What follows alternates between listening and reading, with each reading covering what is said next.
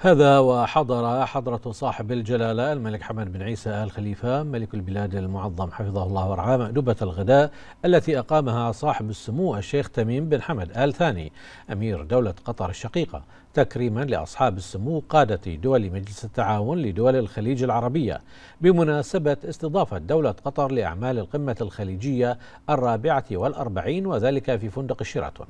بعد ذلك ودع حضرة صاحب الجلالة أخاه صاحب السمو أمير دولة قطر وإخوانه أصحاب السمو قادة دول مجلس التعاون.